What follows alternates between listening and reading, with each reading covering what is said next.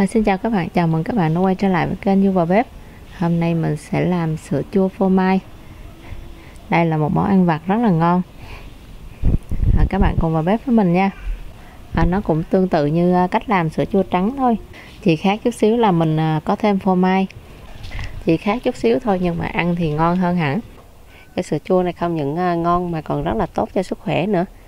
À, Vừa hỗ trợ tiêu hóa nè à, Đẹp da ngoài ra nó còn cung cấp canxi cho cơ thể nữa. Rất là tốt mà làm thì rất là đơn giản. À, chỉ cần à, 3 bước thôi. À, đó là à, hòa trộn các nguyên liệu à, đem đi ủ. Và sau đó là cho vào à, ngăn đá để đông lại. Để làm cái sữa chua phô mai này thì mình chuẩn bị à, 200g sữa đặc nè. À, một hộp sữa chua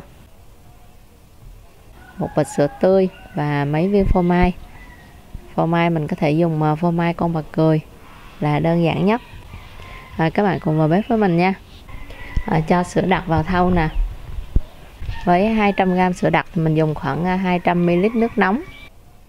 Nếu mà bạn nào theo dõi du vào bếp thì sẽ không lạ gì với công thức làm sữa chua rất là đơn giản của mình. Mình đã làm tới mấy loại sữa chua rồi. À, sữa chua trắng nè sữa chua trái cây à, sữa chua nếp cẩm. Và tiếp theo là cho một bịch sữa tươi vào.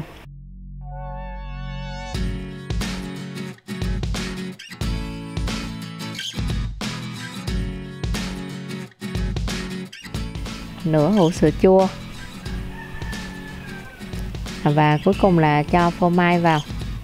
Mình sẽ cho phô mai qua cái rây để nó được mịn hơn. Mình có thể rây à, qua một hai lần để cho nó mịn hẳn nha các bạn, cho nó đều.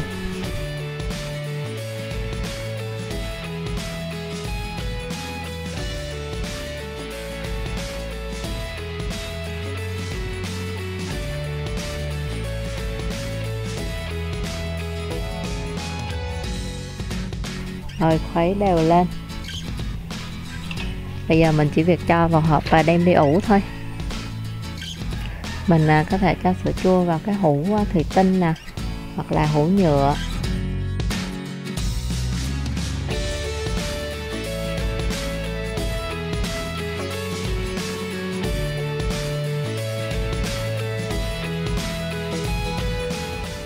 Mình sẽ ủ trong thùng xốp à, cho nước nóng vào à, ngập khoảng à, nửa hũ sữa chua à, đậy kín lại và ủ khoảng à, 6 tiếng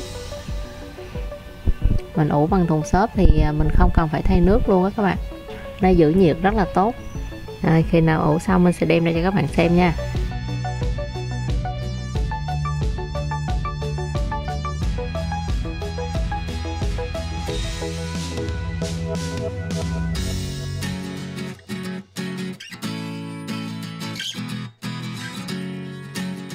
À, sau khi ủ xong thì nó đặt như thế này nè các bạn mình nếu mà mình à, ăn liền thì mình sẽ à, ăn cùng với một ít đá cho nó ngon.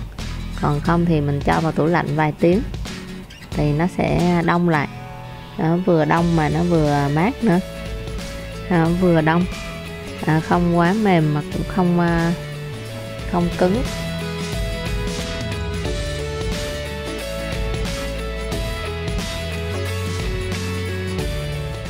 Ừ. rất là ngon à, ngọt chua chua ngọt ngọt. Lại à, béo béo nữa có thêm mấy viên phô mai mà ngon hơn hẳn nó thơm thơm và béo béo. Đây mình cho thêm một ít trái cây nữa thì à, tuyệt vời luôn. Và cảm ơn các bạn đã theo dõi video này nha. Chúc các bạn một ngày vui vẻ. À, các bạn nhớ làm thử món này nha.